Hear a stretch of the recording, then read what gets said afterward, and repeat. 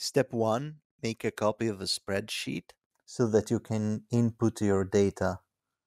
Step 2 Input your data, your in game FOV, the scope you're using. I'm gonna do sparks here. Gun velocity, sparks is 533, and resolution height. And now you have both the leads from the left and from the right. This number is the entire size of the crosshair in pixels. So open HUDsight, I suggest the old version.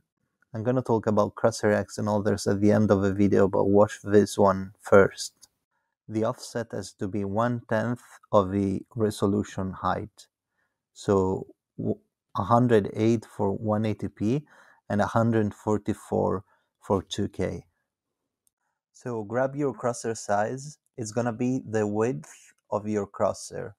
For HUDsight, it's the left image size option. So grab crosshair size and input it here. It's gonna give you the extremes, the lead from the left and from the right.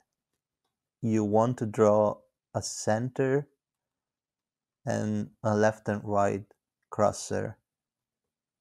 So the process is very simple if you learn it. It takes me less than 20 seconds to adjust my crosshair if I change weapon.